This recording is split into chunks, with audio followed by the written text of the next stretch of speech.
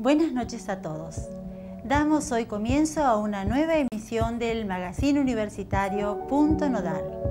En el programa de hoy vamos a conocer y conversar sobre el tema de Olimpiadas Matemáticas, esta actividad que se viene desarrollando en la localidad y en la provincia de Santa Cruz desde hace ya bastante tiempo.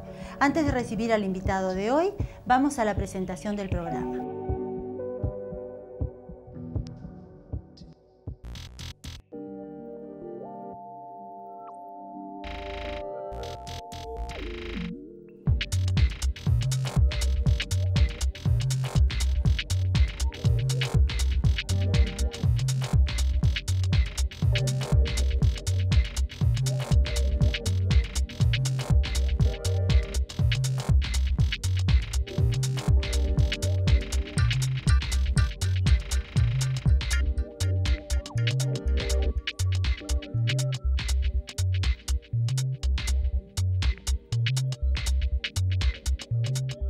En el programa de hoy nos acompaña el licenciado Claudio Fernández.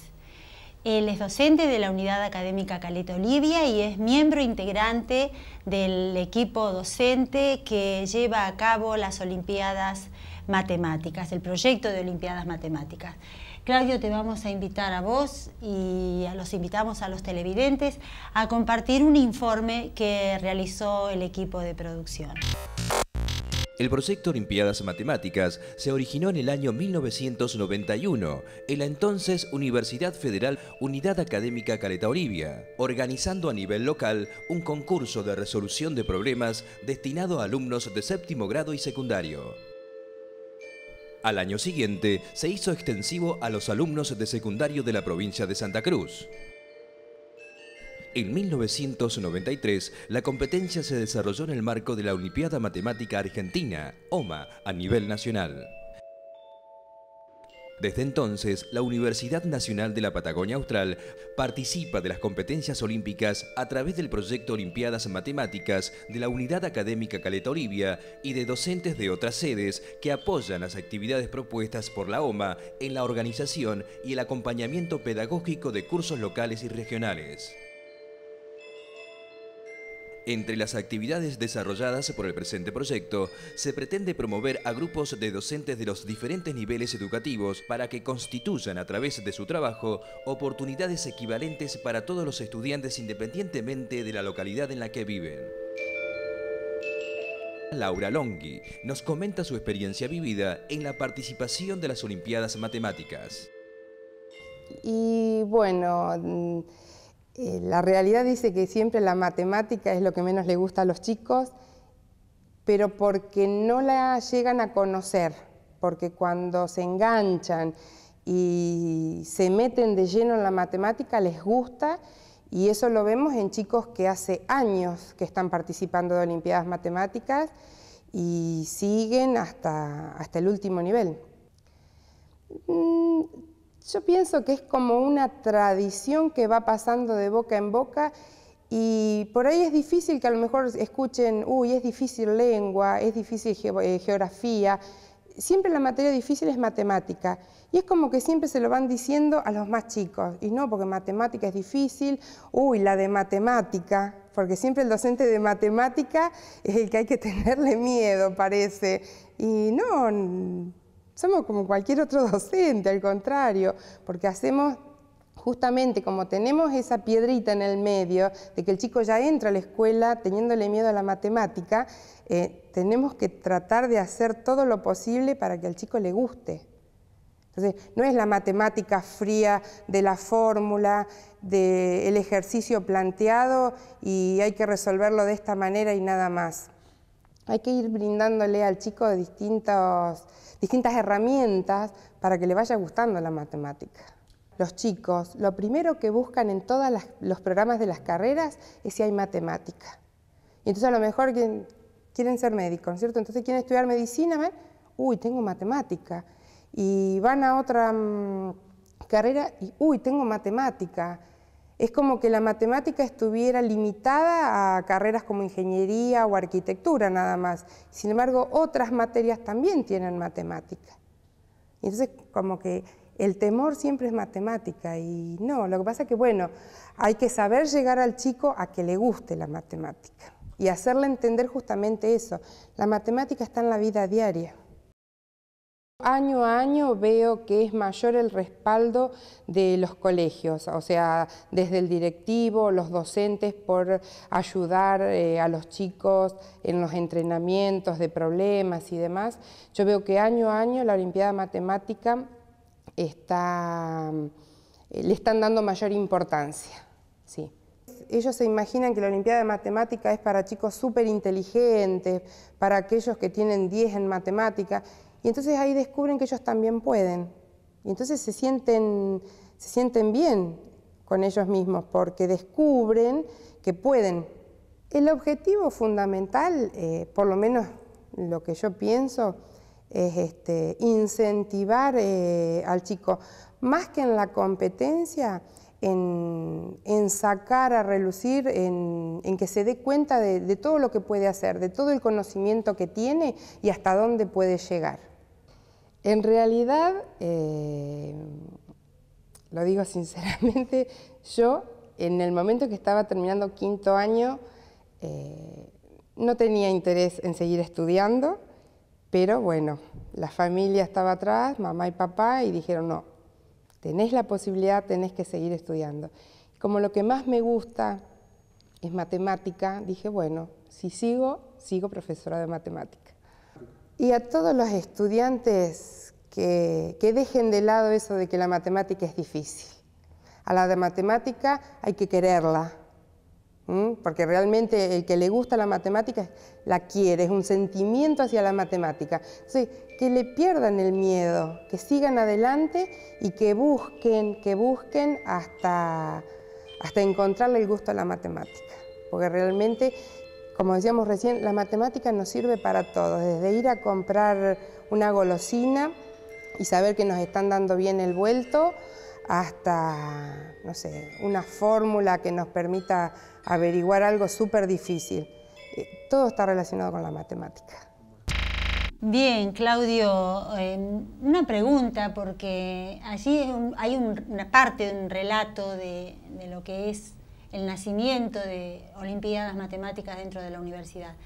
Nos gustaría que nos comentes un poquitito más cuándo y cómo nace esto de Olimpiadas Provinciales de Matemática y, bueno, ¿desde cuándo estás vos en el proyecto? Bueno. En el año 2002, ¿sí? a raíz de, de, un pedido del Consejo Provincial de Educación que le hace a la universidad, eh, le pide la organización de una Olimpiada Provincial de Matemáticas, ¿sí? de forma de llegar a todas las localidades de la provincia, a todos los niveles, eh, empezando desde el cuarto año de la enseñanza general básica hasta el tercer año del nivel polimodal. Y mm, entonces este, se hace un proyecto de extensión universitaria que involucra a la UMPA como sistema, en su conjunto, las cuatro unidades académicas, este, eh, gradada la, justamente la diversidad geográfica que tiene la, universidad. Y bueno, ahí entonces para coordinar todas las actividades académicas este, se crea un, comité académico y entonces el señor rector me, designa para formar parte del mismo ¿sí? y coordinar bueno, las actividades aquí en zona norte y junto con bueno, el licenciado Rodolfo Eusebio quien coordina en zona sur. Digamos, somos los dos responsables académicos de la Olimpiada y bueno, entre las funciones este, corregir las pruebas de las distintas etapas y nominar los campeones. La preparación también de las, de las evaluaciones, de las pruebas. la preparación de, la... Nada de trabajo. Bueno, desde la entrevista que le hicimos a, a María Laura Longi, ella comenta esto que es tan conocido, ¿no? de esta fobia, si se quiere decir de alguna manera, que a veces se suele tener a la matemática. No se sabe si a la matemática o a los profesores de matemática. ¿A vos qué, qué pensás sobre este tema? Sí, eh, es un mito este, ya generalizado, va a ser muy difícil de, erradicar. Este, los chicos llegan incluso a, hacer su carrera universitaria con ese preconcepto este, y no se tienen que dar cuenta que, o sea, que detrás de la matemática hay personas de carne y hueso este, y que en realidad no, este, no, no, es nada este, colosal, sino que se fue construyendo todo poco a poco. Lo que pasa es que por ahí también depende de la forma de darlo, si uno lo da ya todo como una fórmula hecha y acabada y no se ve todo el trabajo de siglos que hubo atrás para llegar la a construcción De esa, la construcción del conocimiento, este, se hace a prueba y error y, andando y desandando caminos como en cualquier otra disciplina.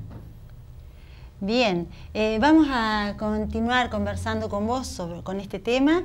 Eh, antes de eso vamos a ir a un corte y seguimos en nuestro próximo momento de punto nodal.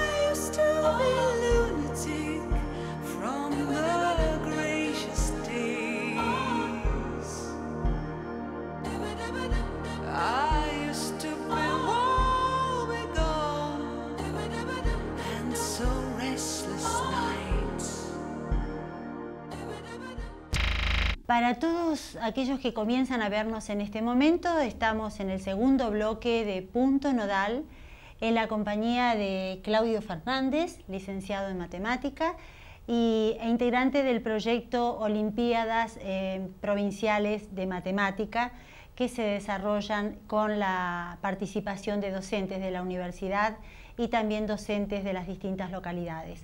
Eh, ¿Podrías contarnos, Claudio, cómo, cómo articulan ustedes el trabajo desde las unidades académicas con los docentes de las localidades, las distintas localidades de, la provincia?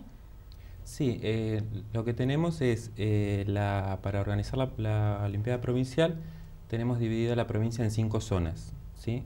donde justamente en base en las zonas donde hay una unidad académica de la UMPA presente, excepto la zona de Cordillera Norte, que tiene la cabecera en Perito Moreno. No, ahí no contamos con unidad académica, pero digamos que desde la UACO este, hacemos por eso toda la tarea zona norte. Y luego, bueno, zona centro coordina es, eh, la unidad académica de San Julián, Cordillera Sur eh, Río Turbio y Costa Sur es, este, la Río, Gallegos.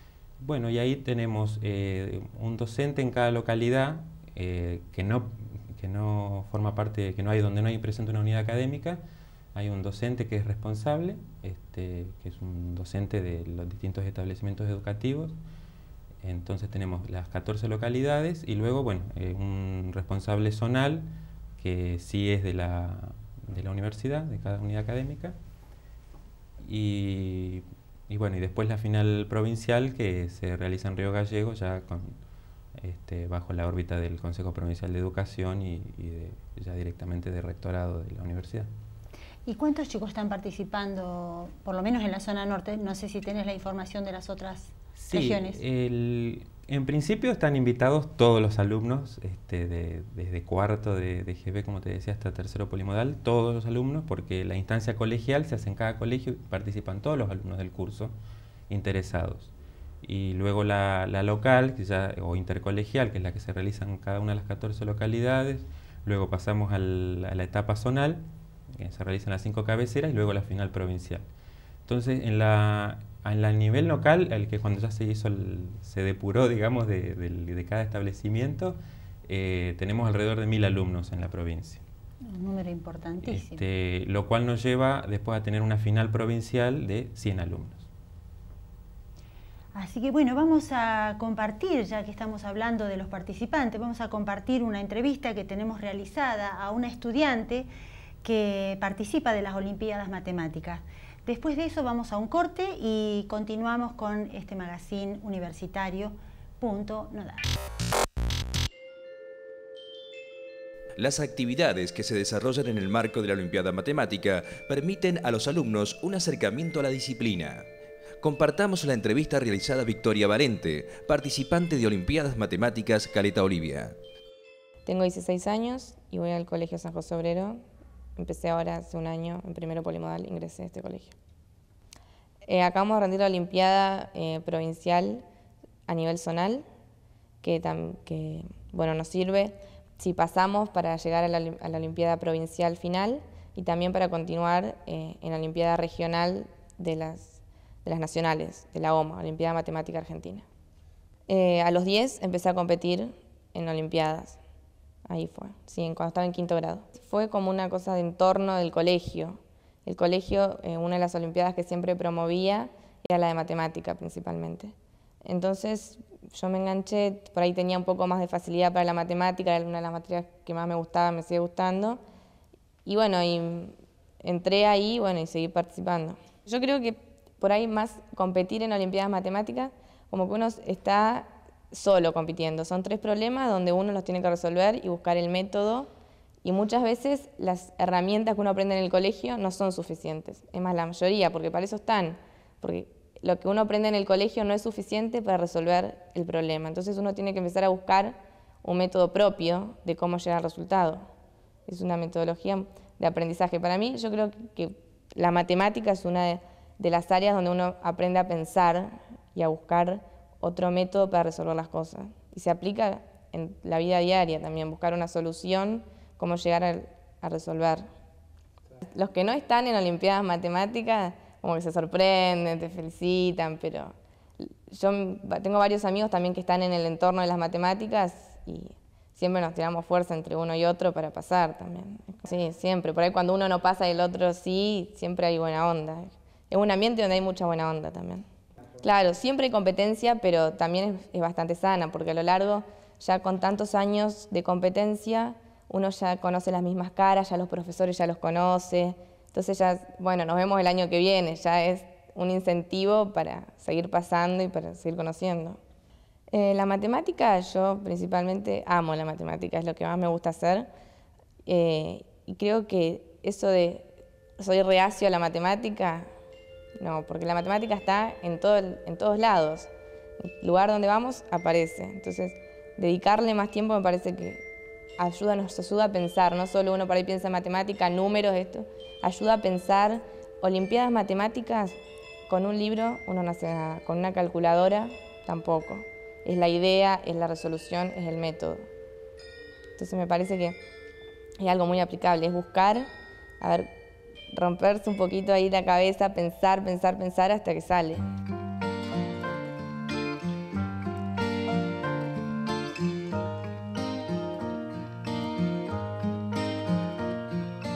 Once there was this kid who got into an accident and couldn't come to school, but when he finally came back.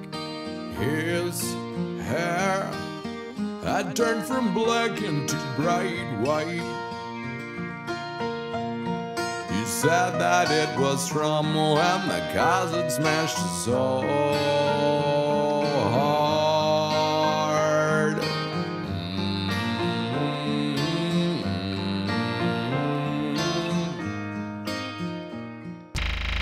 Bueno, continuamos aquí con, Claudio Fernández conversando sobre Olimpiadas Matemáticas.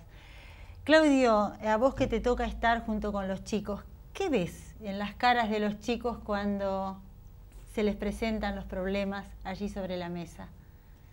Y de todo tipo, caras de asombro, de preocupación, pánico, por ahí, concentración, están viendo qué hago acá, eh, cómo lo saco y este, o sea, realmente da, gusto verlos, están ahí concentrados tratando de, descifrar, de destripar, como se dice, el problema y llegar a la solución, eh, porque como decía Victoria, no, no solo importa el conocimiento matemático, porque ellos a su alcance tienen los apuntes, la calculadora y todo, sino que importa el ingenio, la interpretación del problema y, ver cómo integrar varias herramientas este, en lo aprendido. O sea, son realmente problemas este, originales que no son los comunes que se ven en el, en el curso.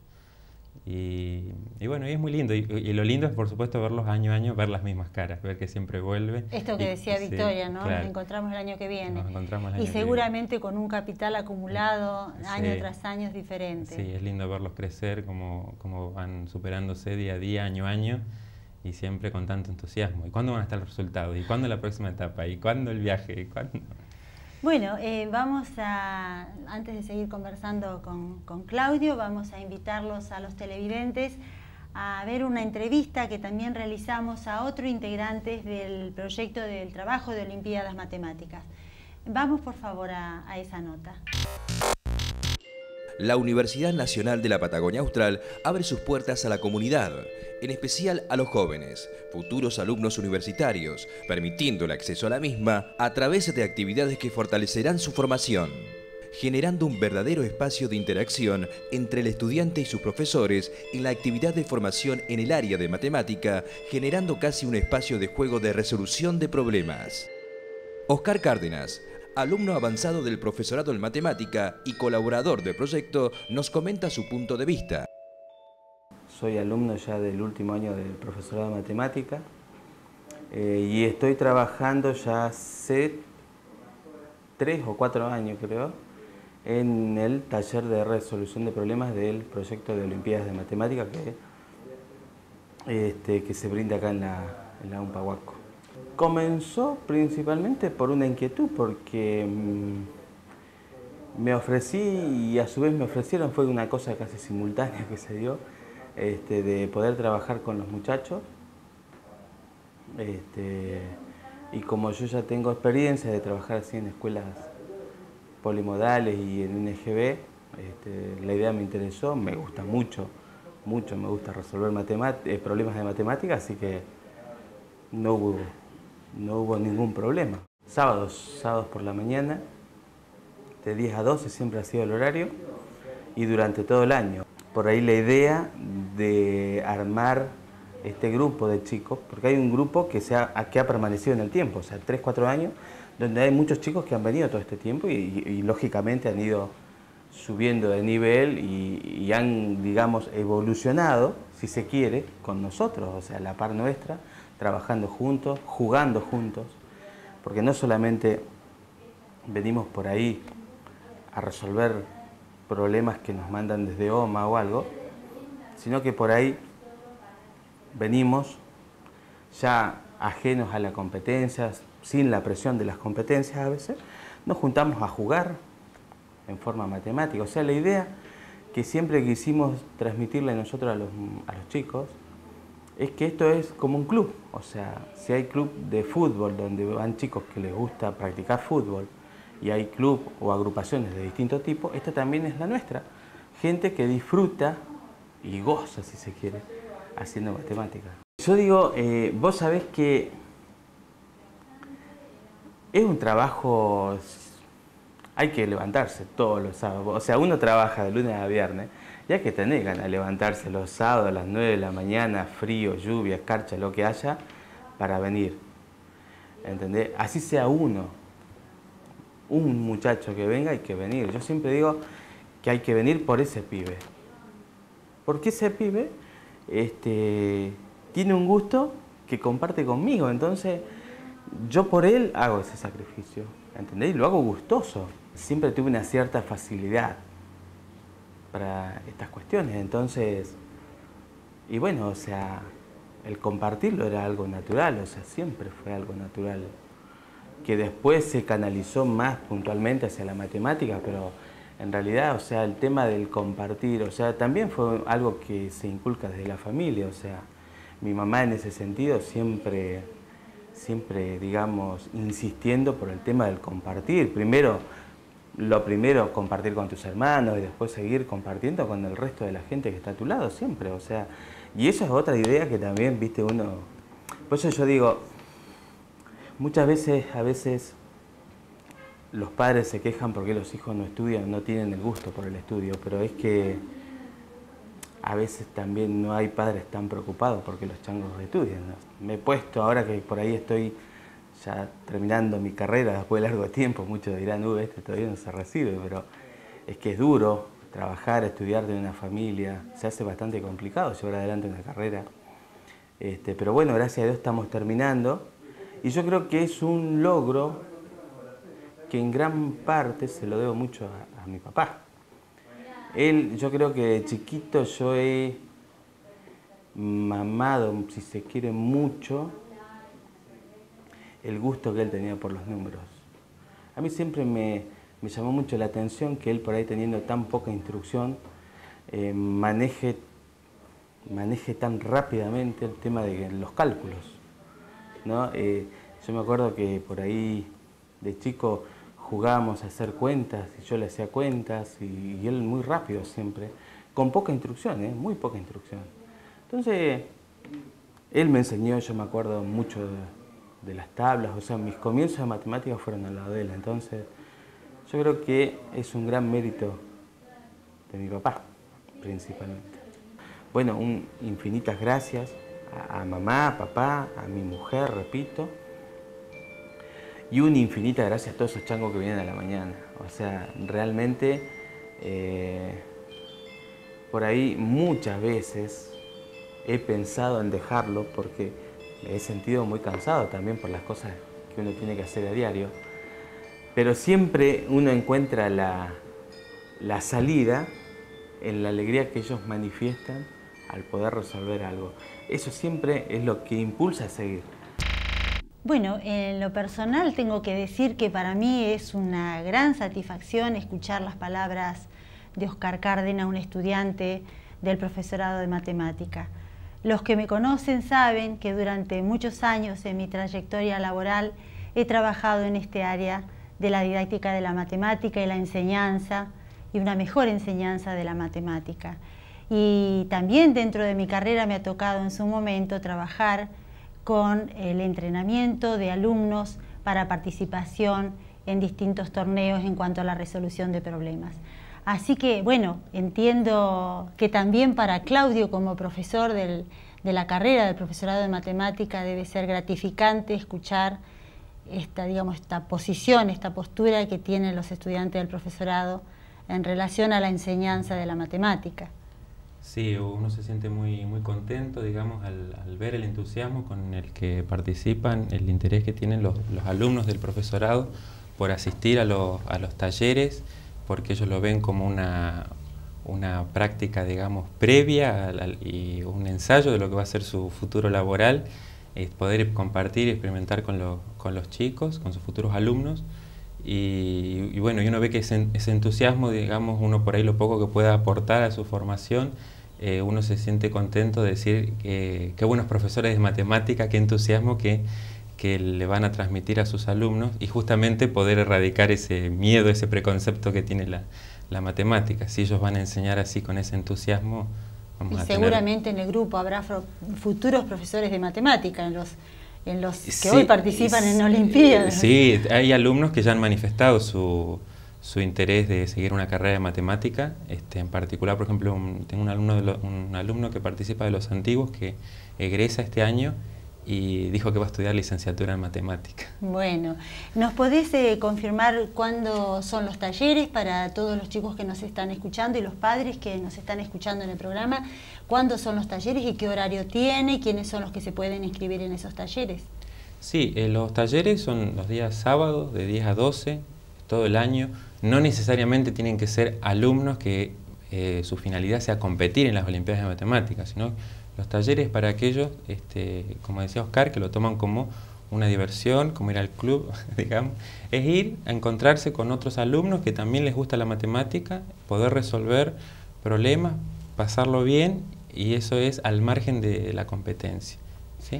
Bien, Claudio, durante todo el programa nos estuvo acompañando aquí la copa que tenemos delante nuestro. Eh, contanos qué simboliza, qué es esto. Bueno, eh, aparte digamos de las, actividades olímpicas a nivel provincial y nacional, tenemos los eventos internacionales.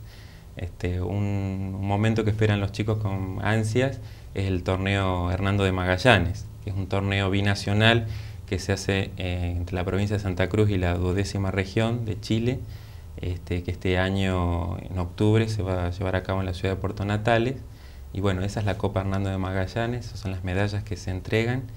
Y Pero esta es una copa obtenida por nuestros estudiantes. Sí, esta es la copa que ganaron el año pasado en Puerto Deseado, este, que bueno, creo que se vieron algunas imágenes al comienzo. Em, este, los alumnos de la Argentina ganó la copa y bueno, ya quedó definitivamente en, nuestro poder. Hasta el próximo encuentro. Sí, este, hasta el próximo, o sea, el, sí, en custodia, pero como ya la hemos ganado cinco veces, esta ya queda definitiva. Habrá que comprar una copa nueva para reponer, pero esta ya queda. Qué bien. bueno, Claudio, te agradecemos muchísimo habernos acompañado en el programa y bueno, agradecemos también el entusiasmo que sabemos que pones en la formación de, los futuros profesores de matemática y en el desarrollo del proyecto. Eh, nosotros vamos a invitar a otros alumnos, a otros estudiantes a que se sumen a la propuesta, a los estudiantes de la universidad, que se sumen a la propuesta para entrenar alumnos de las escuelas de educación general básica y de nivel polimodal. A los televidentes les agradecemos muchísimo la compañía, los esperamos para el próximo programa de Punto Nodal. Muchísimas gracias y nos vemos.